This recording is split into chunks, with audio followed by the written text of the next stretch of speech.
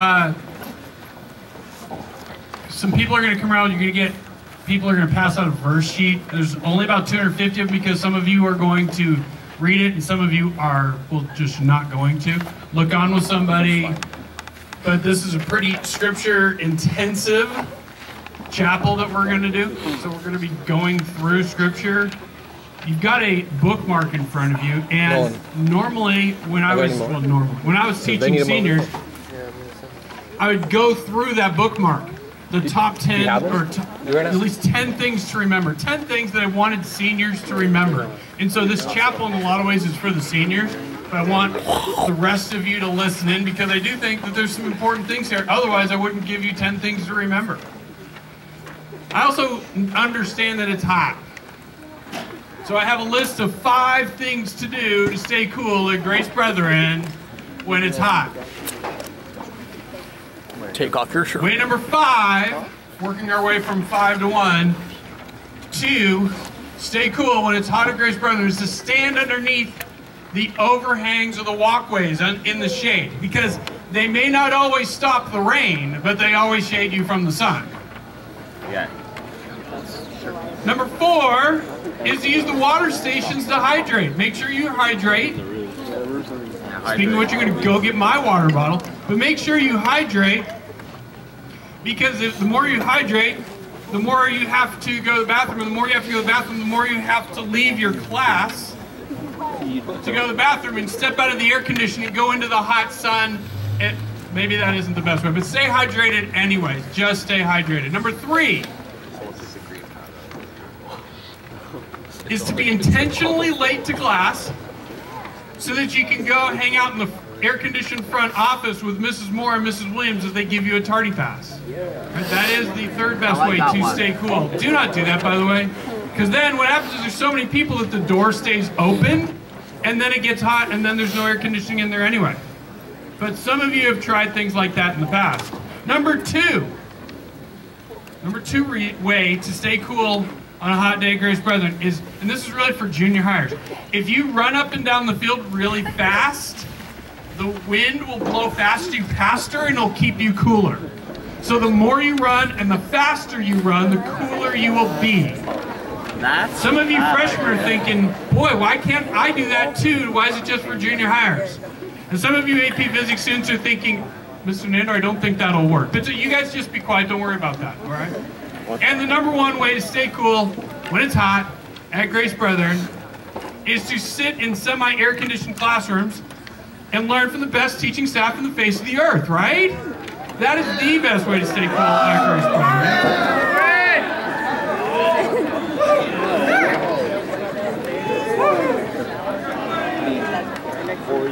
At this point, all of you should have a bookmark.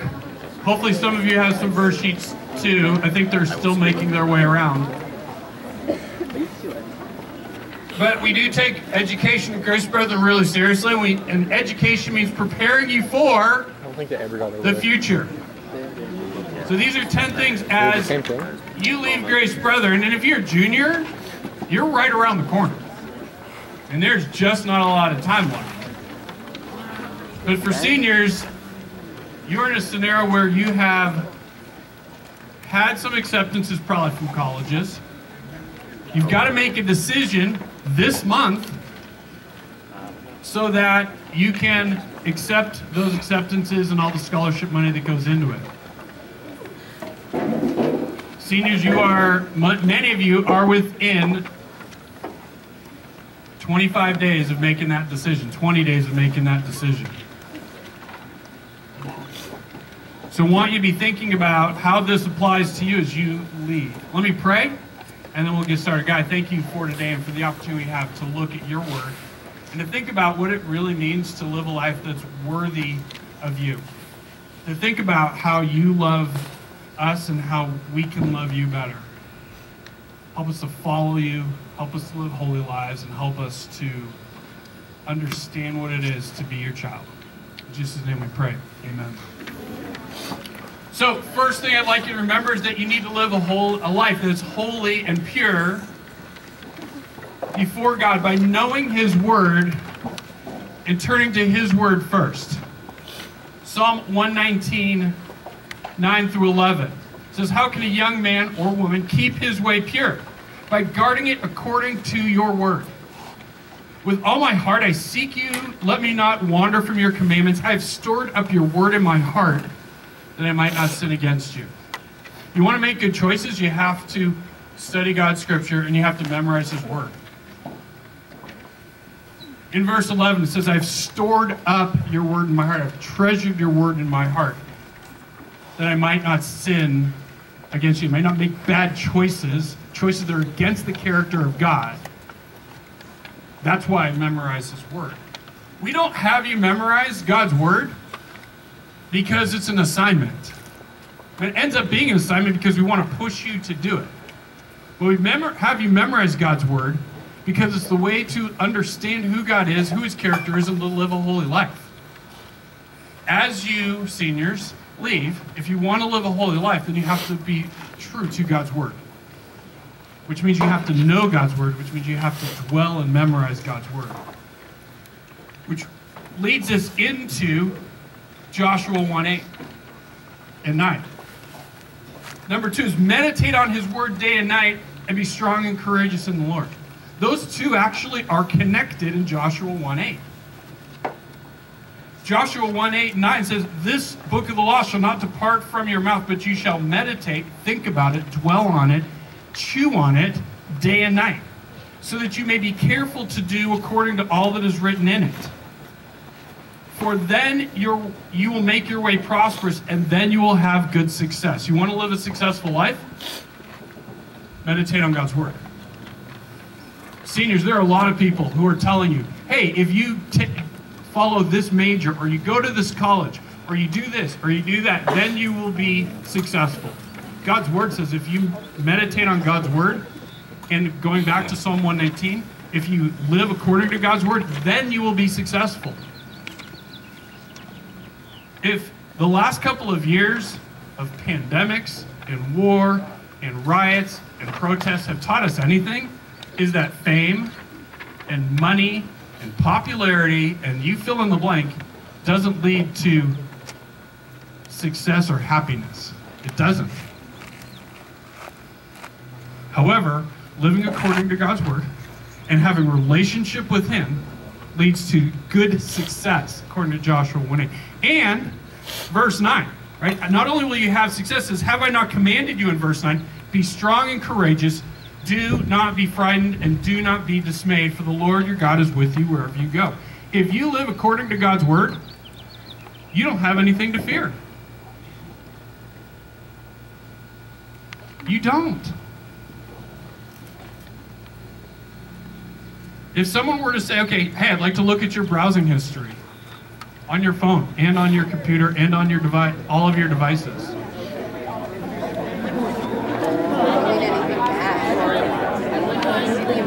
From your talking, I'm guessing that maybe, maybe some of you struggle with that.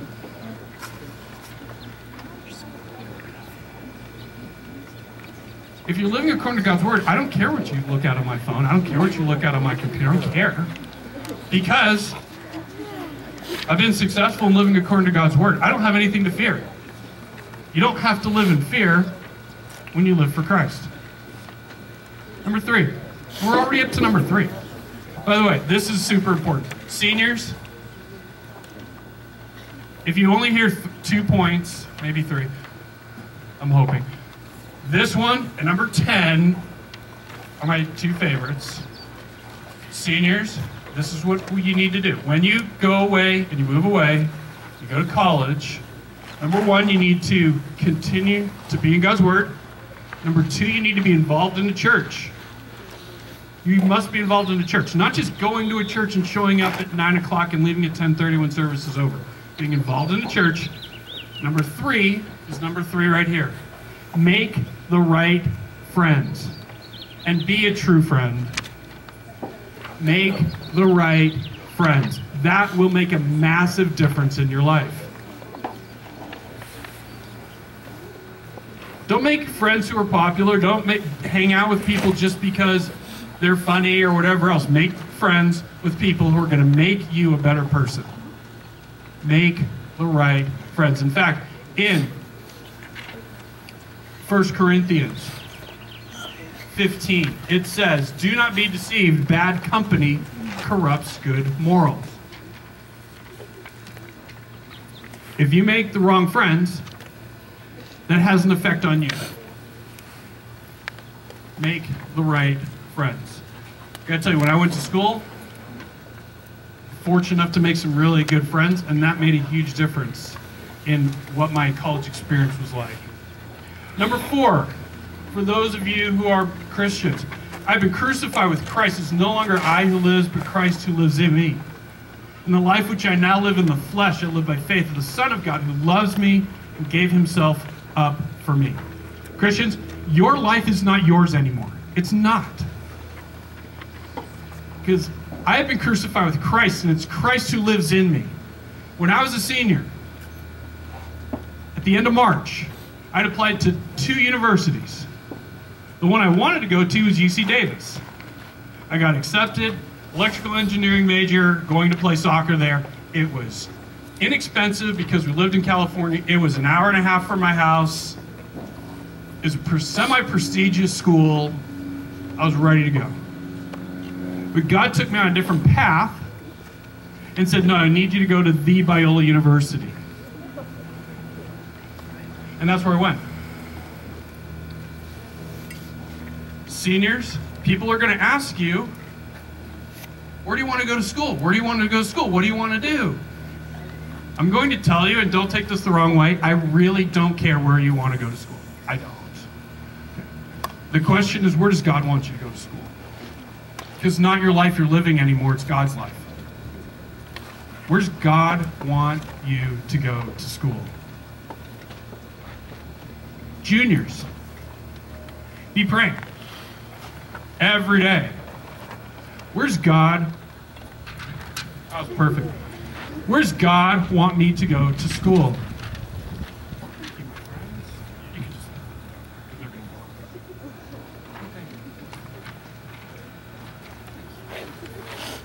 Be praying, juniors. Where's God want you to go to school?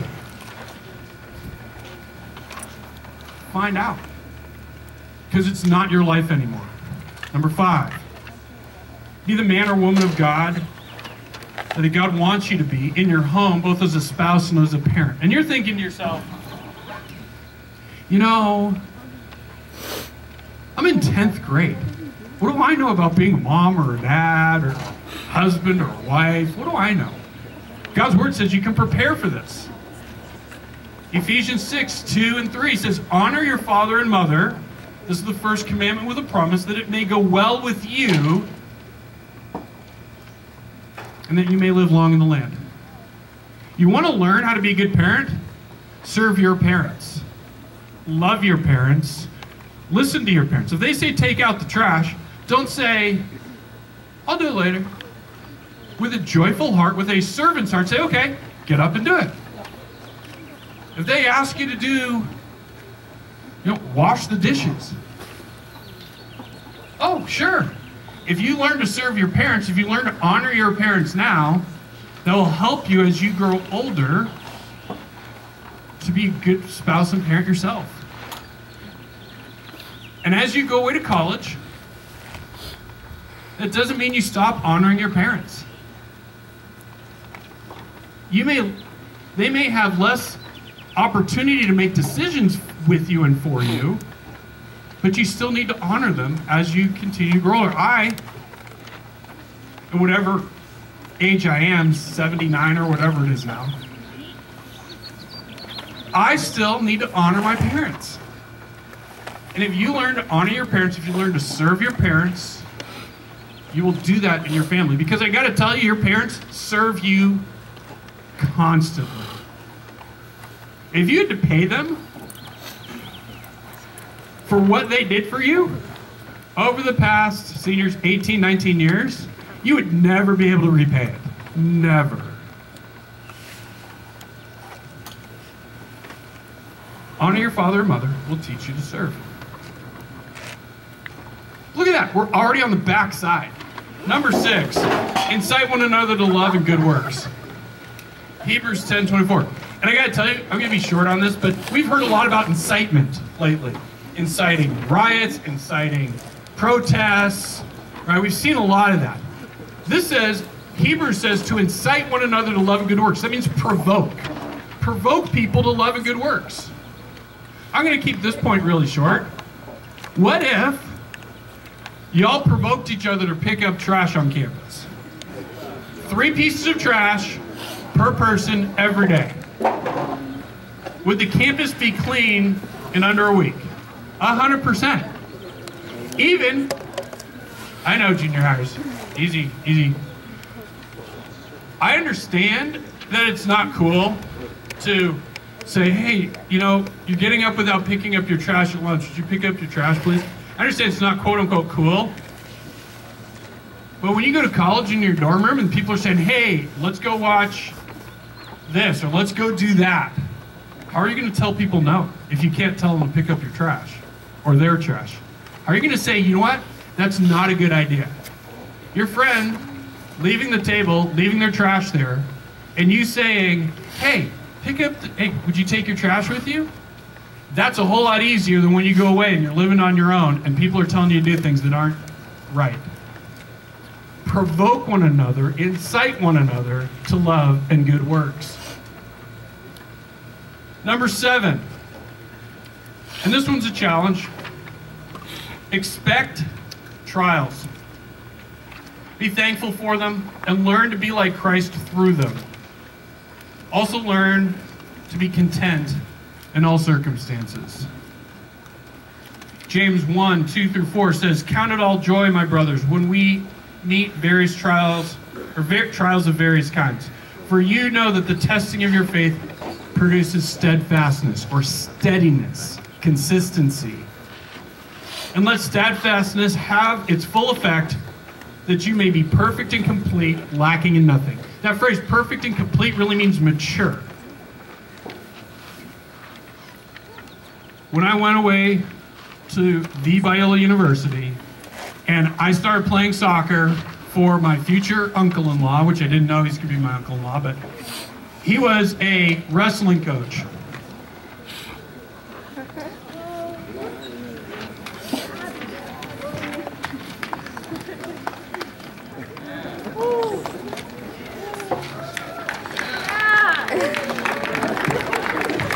Just to hold. He was a wrestling coach, and he had a maniacal work ethic. A few years ago, probably three years ago, I did chapel just about him and the lessons I learned. But there was a hill, and you'd go to the hill, and it was 300 meters long, and it was about a 10% grade. And we'd be running up the hill, and it's only 300 meters long. We'd run up the hill, you run super hard, you, you kind of had your eyes closed, and you look up and you hadn't gone anywhere. And you keep running really hard, really hard, really hard, and you look up and you didn't feel like you'd gone anywhere. And then you get to the top finally, and you would vomit. And then he'd say, All right, run another. And you'd go down, you'd jog down the hill, and you'd run another. And the first couple of times I did it, every time I got to the top of the hill, I'd vomit. But I will tell you that those trials in athletics help me to be a better player, right? If you're going to be a good athlete, you can't just sit around on the sofa and then get up and go, oh, I'm going to go play in the NBA. I'm going to go play in the NHL. I'm going to be a professional hockey player just by sitting on my sofa. It takes hard work, it takes trials. In 2020, we all had trials. I'll tell you that in January I got pneumonia. I had pneumonia for five months, right, right about the time I was starting to recover from pneumonia. I got kidney stones, and that was a joy. I recovered from kidney stones, and I had one surgery. I then I got two more surgeries, and right about three weeks after I'd recovered from pneumonia, I got COVID. In fact, I did a graduation ceremony up at the church, a drive-through graduation ceremony up there with COVID, and I didn't know it. And I got really sick again. Six weeks later, my mom almost died. And I, she was in the hospital for two months. During that time she was in the hospital, my dad went into the hospital for cancer surgery and had his esophagus removed. And all that time, I'm trying to manage all of these different things. I'm trying to get better. I'm trying to help them. I'm trying to be a dad and a husband. And it stunk. But I kept thinking, God has a purpose. And I know that now I'm more mature than I was then. I know some of you are thinking, man, Mr. Nair, you are so old. How mature can you get? Yeah, I understand. I was just needed. To, I needed to continue to mature.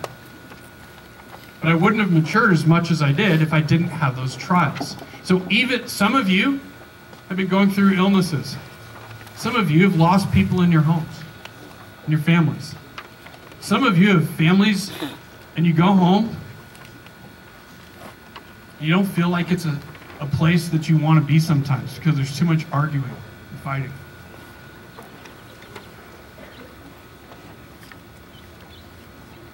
I'm telling you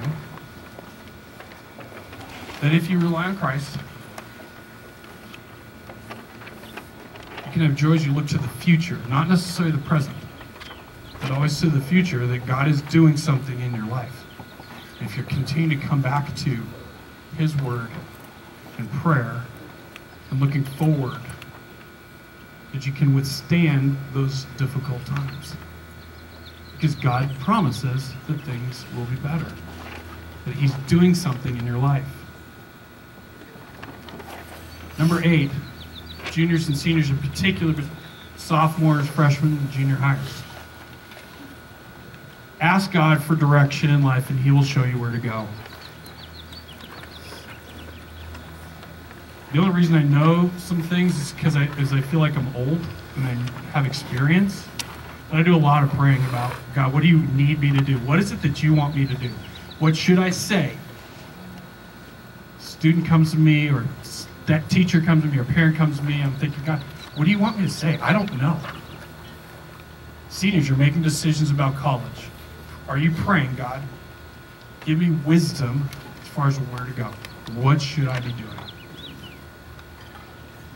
Number nine, pray to Him, give thanks, and fix your mind on His truth because He is peace. Fix your mind on truth. We talked a little bit about prayer already. But last year, there was a professor who made a lot of news because came out and said, you know what, two plus two could equal five if you looked at it from you know, your own background and your own choices. And, you know, two plus two could equal five in your life. I'm going to tell you, students, I have a three word answer. No, it cannot. By the way, if you want to do checkbook, if you want to run your checkbook as and have two plus two equal five, you go ahead. Your bank's going to tell you you're wrong. If you're an engineer and you're trying to design a building, and you use 2 plus 2 equals 5, there's going to be a problem with your building. Because 2 plus 2 equals 4. Philippians 4 8 says this Finally, whatever is true, whatever is honorable, whatever is just, whatever is pure, whatever is lovely, whatever is commendable, if there is any excellence, if there is anything worthy of praise, think about these things. Seniors, as you leave Grace Brethren, think about truth. At the end of this verse, it says, think about these things. There's a sense in the original Greek there about dwelling, living in truth. Live in the truth. Don't lie to yourself, don't lie to others. You're going to have college professors that tell you things such as 2 plus 2 equals 5. And you have to decide whether or not you're going to believe truth. You have to decide. It's on you. We had a senior, when I was here, I taught them in regards to the Miller-Urey experiment. You can learn about biology, you can look it up. And talked about how this is what scientists and professors think happened before life began, if you don't believe that there's a God. student went from here to a local public school, and the teacher taught it as though it was fact. And the student raised his hand and said, um, I'm just curious. I thought that this experiment was proven to be false, and it wasn't right. And the teacher said, Yeah, it isn't right, and it's wrong, and we can't really prove it, but it's the best explanation we have, even though it's wrong. He was willing to raise his hand and say, I thought there was truth. Are you willing to go out and say, No, there's truth when teachers teach you false things? Where's Shauna McIntosh? Is she here today? Shauna? Oh, she already has her head down. Uh, so, Shauna's grandfathers have had a huge impact on my life. One of her grandfathers was the senior, my senior pastor for 15 years, and her other grandfather hired me at Grace Brethren. I mean, I don't know if he really wanted to, but he kind of got stuck and kind of had to. But Mr. Mann was the principal here, and he hired me, her grandfather hired me to work here. And when I came, I saw what he wrote into the yearbooks of the seniors. And it was 1 John 5 21. Little children, keep yourselves from idols. That's really what I want to leave you with.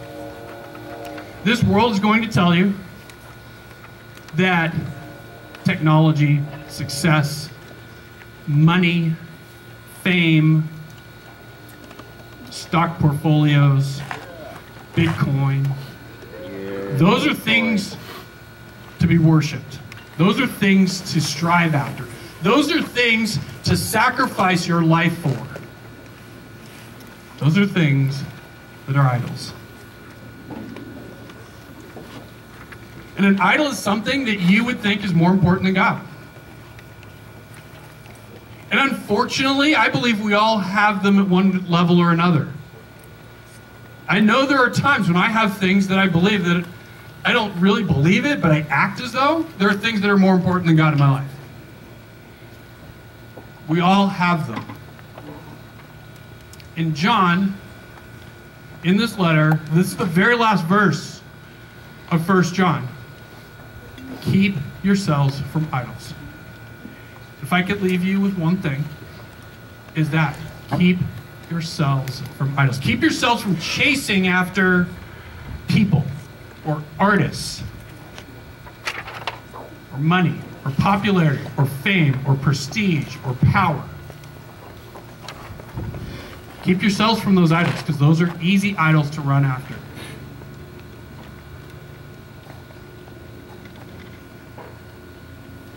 Simply focus on God. I'm going to ask you to pray. I'm going to pray, but before I do, I have you pray silently. I want you to pray to God and ask Him about what is an idol in your life that you need to tear down, that you need to put away. And by the way, if you're thinking, gee, I just don't know, I mean, there's nothing that's, what is it, what would be the hardest thing God could ask you to give up? I know some of you are thinking my phone. Is your family? Is it desire for money? Is a boyfriend or girlfriend? What would be the hardest thing that God would ask you to give up? And is that thing more important than God? All I want you to do is pray to God and ask, God, is that really an idol in my life? And if so, please help me to seek after you through your word. Can I ask you to pray silently? Then I'm going to close in prayer. Then we're dismissed. However, as you leave, please remember that we're going to incite one another love and good works. We're not going to leave trash under the bleachers. Let me pray. Actually, you pray silently, and then I'll close.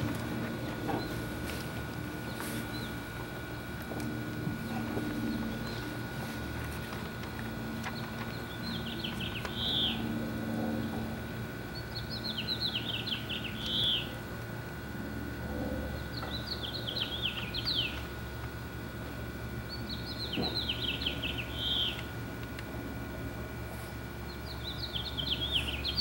Heavenly Father, we you and you alone. That we wouldn't put money or family, or a lot of times even we worship ourselves. We ask God that we would keep ourselves from idols, that we would worship you. And to do that, we really have to change our minds by memorizing your word and by praying, by living holy lives. Thank you for the love that you have for us. And as we come up to Easter in a couple of weeks, we thank you for Jesus' death, which paid for our sins, and his resurrection, which gives us newness of life. Thank you that if we believe in him, that we can have an eternal relationship with you. I pray, Father, that we would all cherish that, that we'd strive after that, that these the things of this world would seem very small in the light of Christ's glory and grace. In Jesus' name we pray. Amen. Adios, amigos.